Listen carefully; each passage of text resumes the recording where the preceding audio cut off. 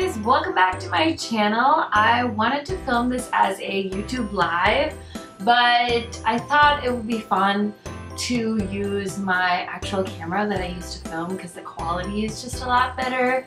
But this video is going to be really laid back. As per usual, I just got done with work. I have a bunch of packages I want to unbox for you guys. And uh, so yeah, I'm going to try and keep it cash. I really hate how I look when my hair is up, but you know what? When you're trying to get to work on time and you gotta go, you know, you gotta put your hair in whatever state and get out the door. I did actually um, try out my Coloured Raine eyeshadows, the singles I got. Um, I don't think, well, no, I hauled them for you guys in a live video, um, I think about two weeks ago, so I'll link it up above if you guys are curious to see some of the new eyeshadow items I got. Um, but yeah, first impression of those, they're bomb. So really, really fun eyeshadows. And um, yeah, so I got a ColourPop package and um, some KL polish. So I thought I'll show y'all what I got. And if you guys are interested, go ahead and subscribe to my channel. Um, the button is down there and uh, yeah, it would really help me out and it keeps you guys updated on my videos. So thank you if you've already subscribed. I really appreciate it. It helps me grow my channel. So yeah, let's get into it. I've never gotten a box this big from ColourPop, which is quite shocking because I have quite a bit of ColourPop like eyeshadows and stuff. But I usually always try to hit the minimum on shipping. So I never get a lot of items. This order was exciting because I really, really, really wanted the I Love Sarahi collection. Like the colors really spoke to me, but I didn't want to pay the price. And so I was just like putting it off. And then the shadows were on sale. The single shadows and the palettes all went on sale for like $12, I believe. And they launched that palette that looks just like the Natasha Denona Sunset palette. So of course I had to place an order and then I really like the look of their highlighter palette too. So that's everything that's in here and their packaging is great. I think they do a very good job. This is the big giant box. This is the wrapping. I just opened this of course. And then here's the inside. It's very cute. It says made in LA. There's a ton of foam. So much foam. Oh my god, this is so pretty. uh, okay, so bill and stuff. And then this is the first thing I see. And this is the I Like Your Face palette. Very cute. Um, it's the pressed powder highlighting palette and there's six highlighting shades in here. So are you guys ready for this? Uh, and I think this is getting restocked too quite soon. So if you missed it the first time, do not fear. ColourPop is going to restock. Um, and this palette reminded me a lot of the Nicole Guerriero palette with ABH. Let me grab it really quick so we can compare the palettes because I really thought they were similar. So one second, I'll be right back. Okay, so I'm back. Here is the palette. ColourPop's been like throwing out some dupes, I feel like. I don't know, I just feel like, I don't know, don't they kind of seem similar? Like, the, the layout and stuff?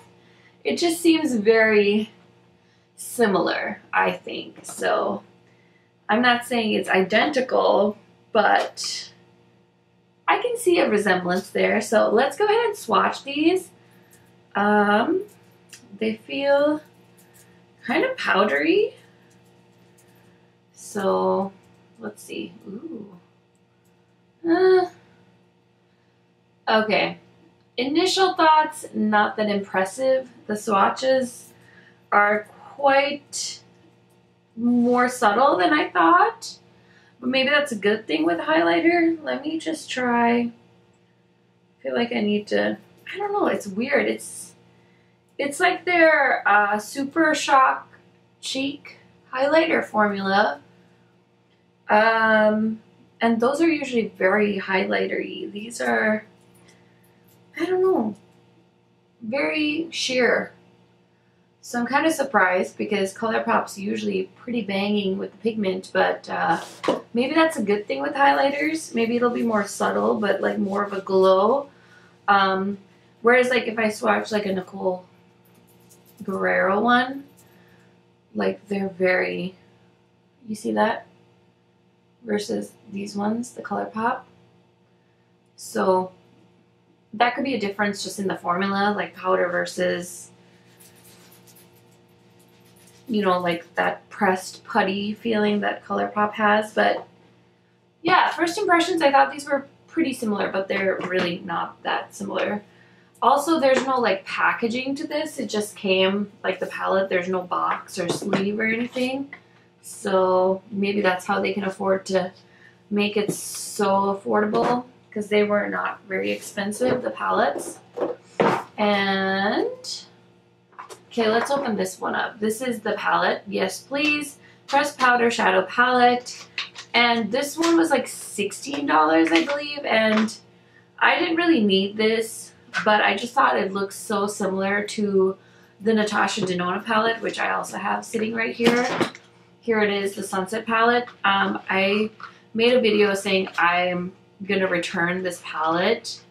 Um, and I don't know, I just don't like the palette. And this palette is $129, so I really can't justify keeping it. I only return things I don't like. I don't just return stuff for the sake of returning it. And I don't just buy stuff for the sake of buying it. Um, I inevitably keep everything I like, but I already talked about how this palette is a hot glittery mess and I just don't think it's worth it. So I'll link that video up, up above.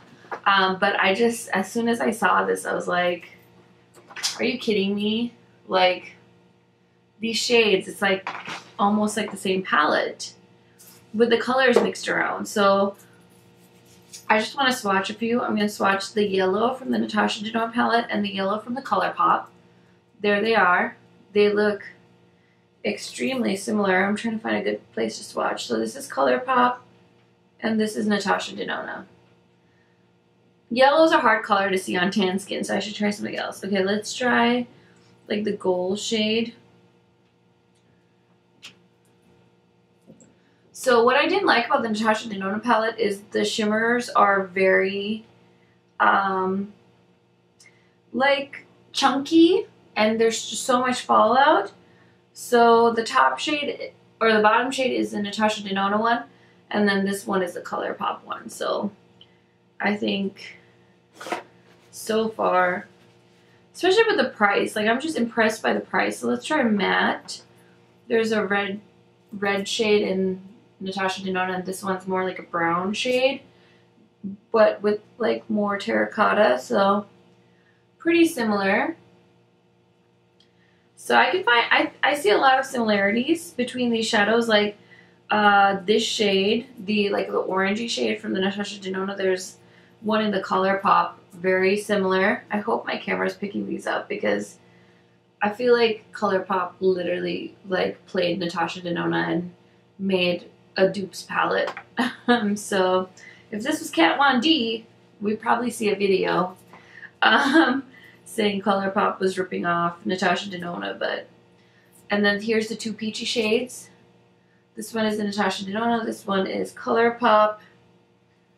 I feel like they're performing just as good as the Natasha Denona palette. So if you guys have been dying for this palette, I know she just made it permanent, but uh, this is $16 and this is $129. So I don't know what you guys think. I personally wish because a lot of people's justification for the Natasha Denona palette is that it has a lot of product, which I agree is a great point. And if you're a professional makeup artist, you probably need as much product that comes with this palette. But for most people, you know, you don't need a whole lot of product.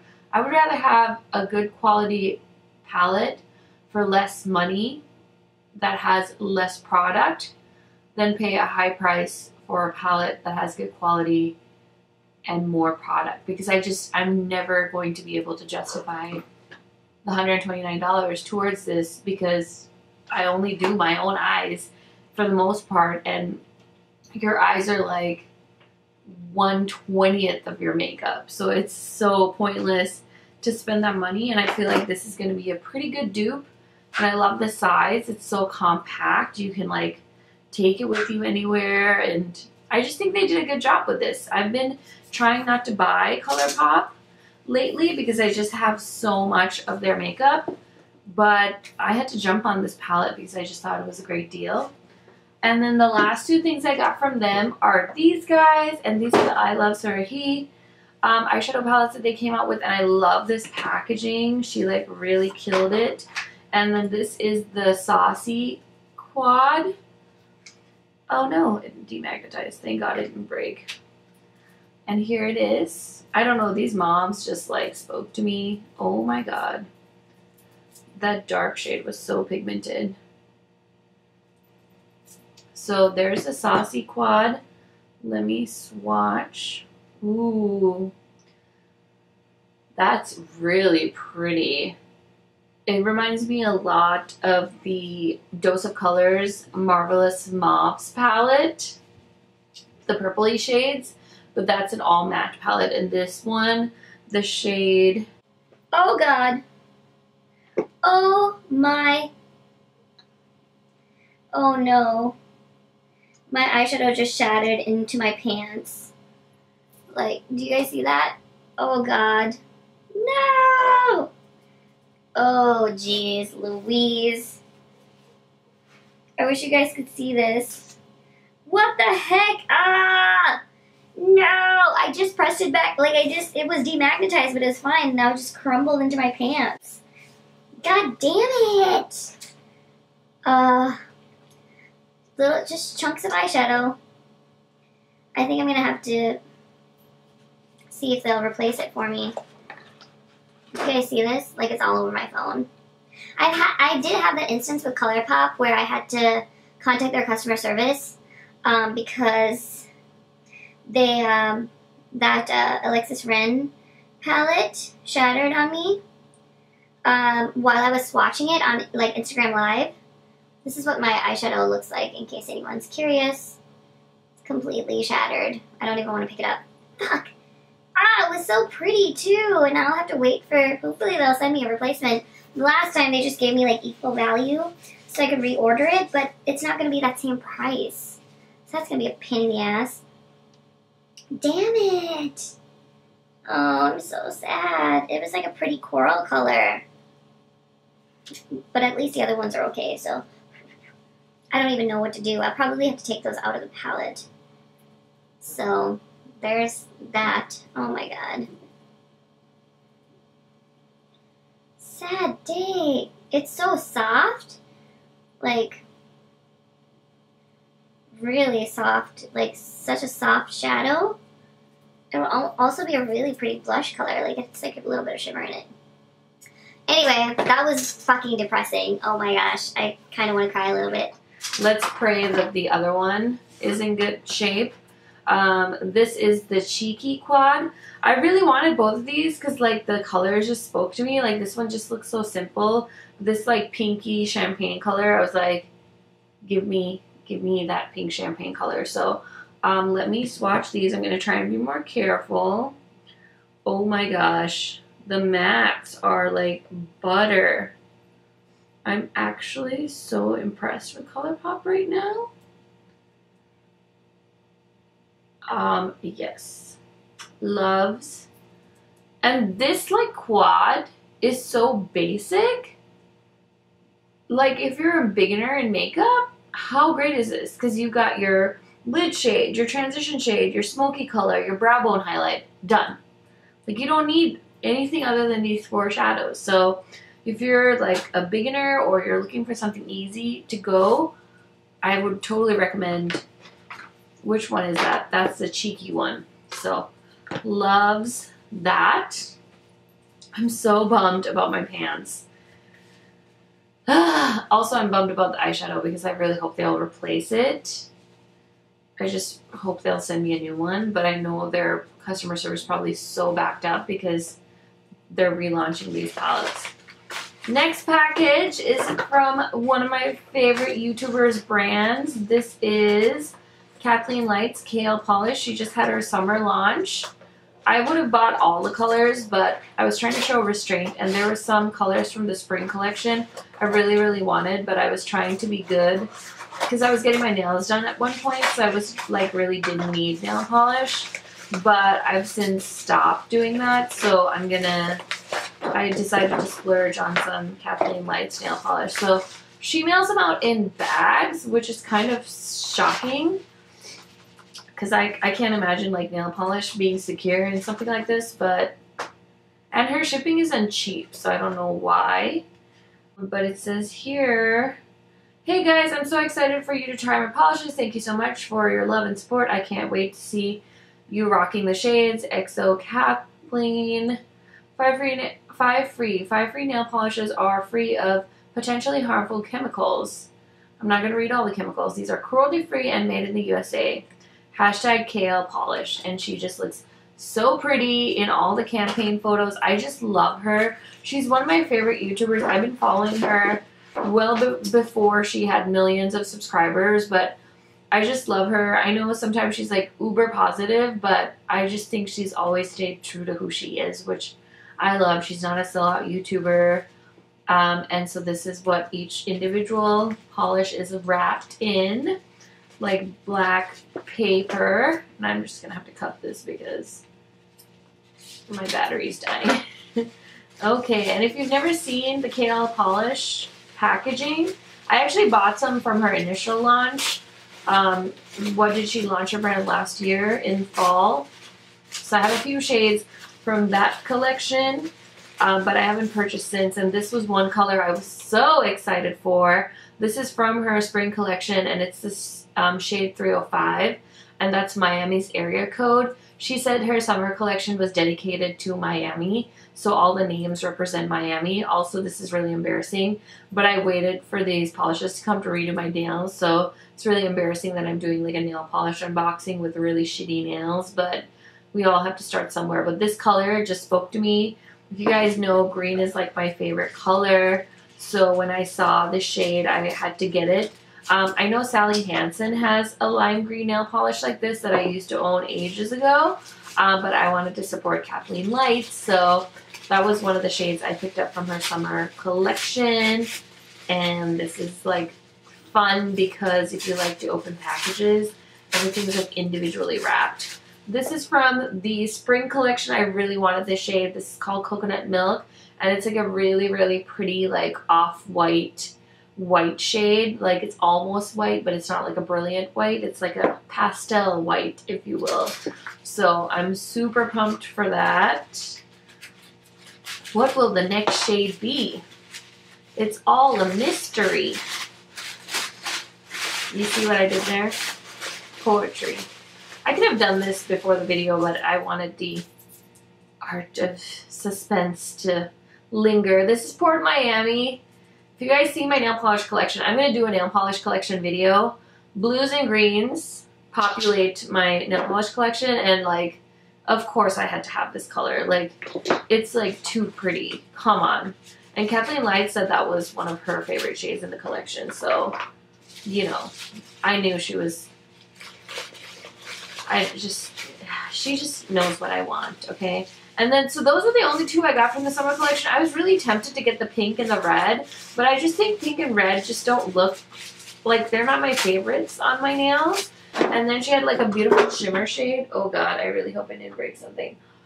Um, she had a really beautiful shimmer shade, but I didn't want that because I hate removing shimmer nail polish. This is again from the spring collection. This is Hug and Roll. It's like a beautiful pastel purple. So of course I had to get get that. I mean, come on. It's too pretty not to. And then, what will this one be?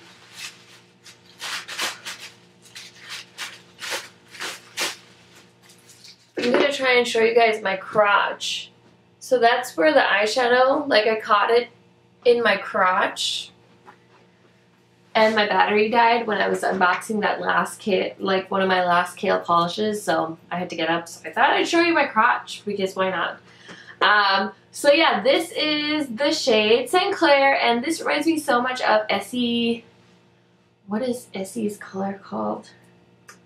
shoot, it's really pretty. It's a shade exactly like this by Essie. Can't remember, but I was like, hell yeah, KL Polish. Like, I'll take one. I'll take one. And then this last one is from her original fall line. It's a shade Zoe. Um, I'm like obsessed with mauve nail polishes. So I've always wanted Zoe. It was it sold out like right away um, when she first launched it. And so I figured since I was picking up all these other shades, I'll go ahead and grab Zoe too.